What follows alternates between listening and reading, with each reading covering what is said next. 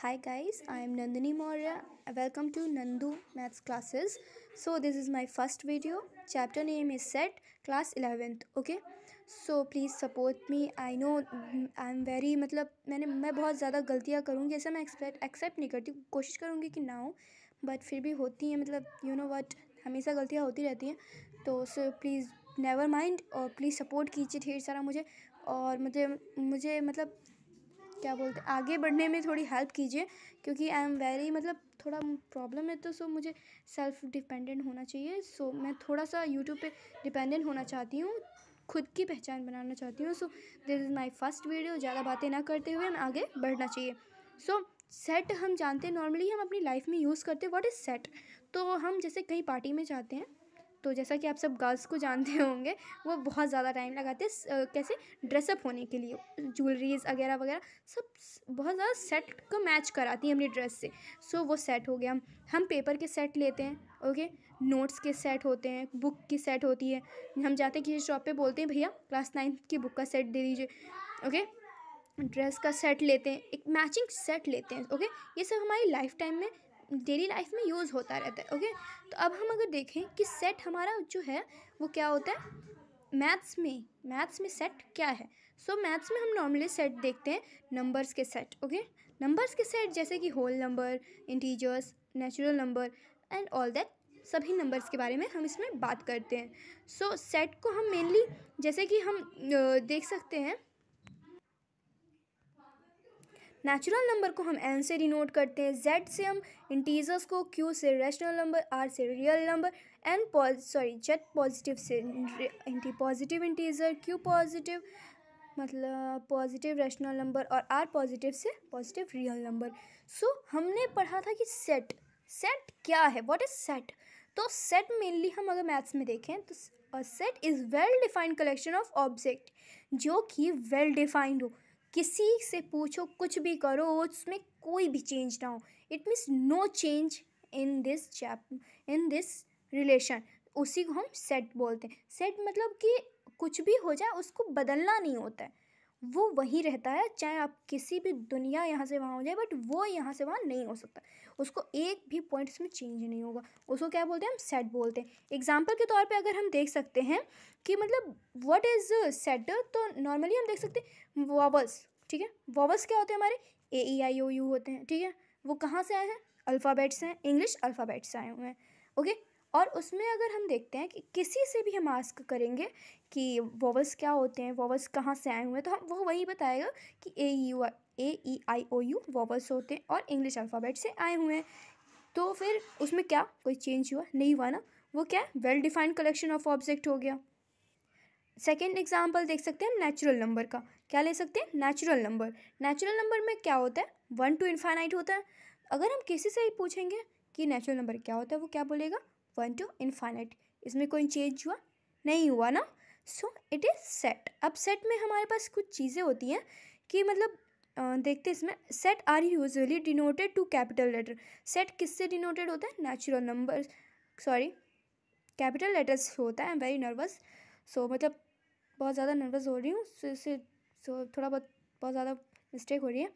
So don't mind capital letter से ये जो होता है, हमारा डिनोट होता है okay the element of a set is represented by small letter और जो उसके अंदर के एलिमेंट्स होते हैं, वो किससे होते हैं? स्मॉल लेटर से होते हैं। बाई एक एग्ज़ाम्पल से बता ए जो हो गया, वो हमारा क्या हो गया? डिनोटेड सेट हो गया। क्या हो गया? डिनोटेड सेट जिसके अंदर है। और इसको हमने ब्रैकेट से लिया। अब उसमें कोई भी लेंगे, बस स्मॉल लेटर लेंगे। तो ए ले लिया और बी ले लिया। ओके ये क्या है? स्मॉल लेटर ये क्या है हमारे? और ये क्या है? तो हमने यहाँ पढ़ा था अभी कि जो हमारे सेट होते हैं, वो किससे डिनोटेड होते हैं?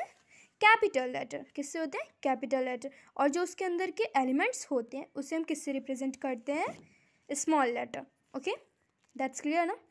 सो आगे बढ़ते हुए देखते हैं there are two method of representing set अच्छा अब हमने सेट पढ़ लिया। अब हमें पता कैसे चलेगा कि हम रिप्रेजेंट कैसे करें? ठीक है?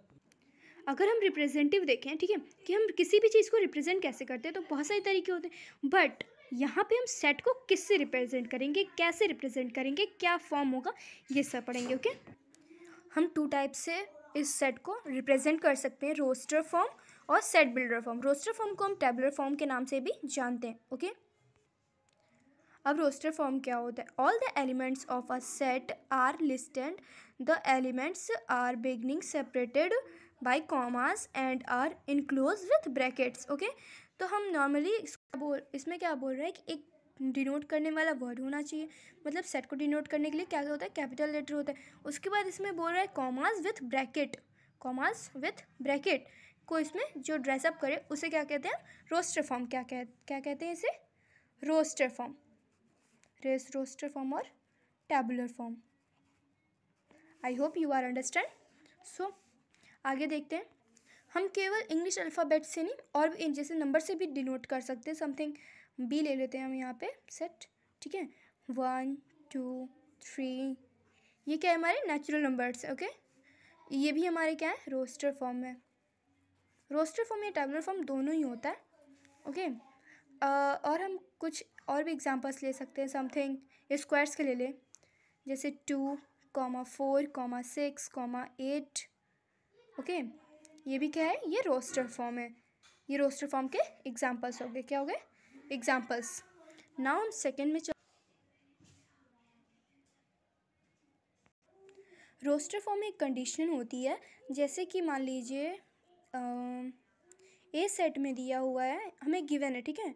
A comma A comma B C comma D comma B something, ये हमारा कुछ सेट दिया हुआ है। अगर इससे बोल रहा है कि हमें रोस्टर फॉर्म में सेटअप करना है, माना कि ये रोस्टर फॉर्म में है बट रोस्टर फॉर्म की कंडीशन क्या होती है कि जो एलिमेंट होता है, वो एक एलिमेंट एक ही बार में लिखा जा सकता है, ठीक है? उसको मतलब हम डबल बार नहीं लिखते, ठीक है? तो उसको अगर लिखे तो A comma B comma C sorry B comma C comma D mainly बस ये चार होंगे। तो ये क्या हो गया? रोस्टर फॉर्म हो गया। अगर हम आप सेट बिल्डर के फॉर्म में देखते हैं तो set builder set builder builder मतलब उसको बिल्डर किया जा रहा है मतलब उसको और एक्सपेंसिव बनाया जा रहा है, ठीक है? एक्सपेंसिव मतलब और मतलब थोड़ा और, जैसे कि हम ड्रेसअप करते हैं ड्रेस बनाते हैं, कोई भी ड्रेस तो उसमें क्या करते हैं, हम उसे और चमकाते हैं कलर करते हैं, और मतलब उसमें पेंटिंग करते हैं वगैरह वगैरह बहुत सारी चीज़ें करते हैं, जिससे वो और भी अच्छे दिखें, ठीक है? ये हमारे सिंपल फॉर्म में हो गया, उसे हम रोस्टर फॉर्म कहते हैं। अब इसको और एक्सपेंसिव बनाने के लिए समथिंग बोल सकते हैं मतलब सजाने या फिर मतलब ऑल दैट सो लेट मतलब मान लिया कि एक एग्ज़ाम्पल है हमारे पास ठीक है? हम यही एग्ज़ाम्पल लेते हैं ए कॉमा बी ओके यही है सो hmm. so, हम इसको लिखेंगे कैसे सेट बिल्डर फॉर्म में? एक्स सच दैट इस पॉइंट को क्या बोलेंगे? Such that such that x is a English alphabet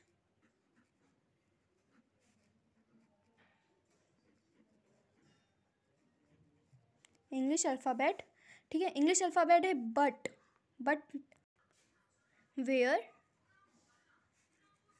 x sorry A equal greater than x smaller than and equal to D okay मतलब कि जो ए से बड़ा और ए के बराबर होगा एक्स और जो डी है वो डी से छोटा और इक्वल टू होगा, ठीक है? मतलब इसमें हम सारे नहीं ले रहे। हमने क्या लिया? सॉरी यहाँ बी होगा। I am very mistaked B A से ए के बड़ा ए से बड़ा और इक्वल टू और बी से छोटा एंड इक्वल टू मतलब क्या हो गया? इसमें क्या क्या एलिमेंट्स आएँगे? A and B okay second example लेते हैं अगर हम। एग्ज़ाम्पल हम बी लेते हैं, ठीक है?